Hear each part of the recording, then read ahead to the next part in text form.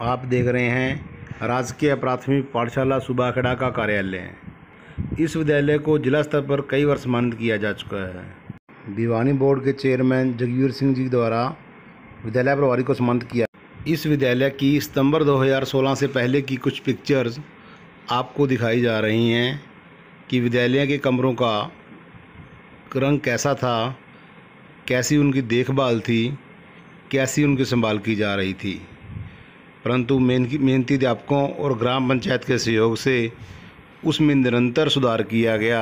सुधार के साथ साथ विद्यालय के बच्चों को विभिन्न गतिविधि आधारित गतिविधियाँ करवाई गई, जिससे बच्चों का विद्यालय में मन लगा और वो पढ़ने में मन रुचि दिखाने लगे। विद्यालय की गतिविधियों से इस विद्यालय की गणना मॉडल स्कूल के रूप में की जाने लगी। इस विद्यालय को और स्कूलों के लिए आदर्श के रूप में माना जाने लगा। यह उपलब्धि हमारे विद्यालय के लिए बहुत ही बड़ी उपलब्धि थी।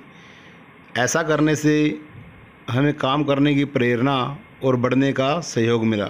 विद्यालय में Vijay Kansal memorial language lab का निर्माण किया गया।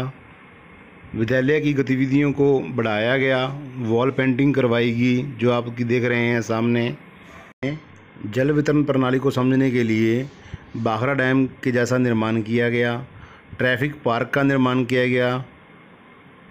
दिन व रात कैसे बनते हैं, इसके लिए सूर्य की गतिविधियों के बारे में बताया गया।